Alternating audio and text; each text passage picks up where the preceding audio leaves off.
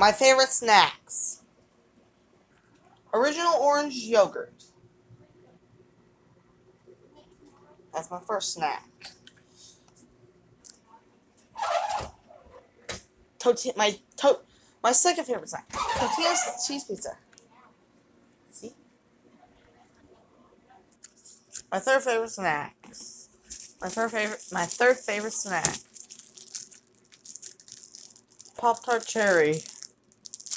This is the brand. The brand. Brand Frosted Cherry. Walmart.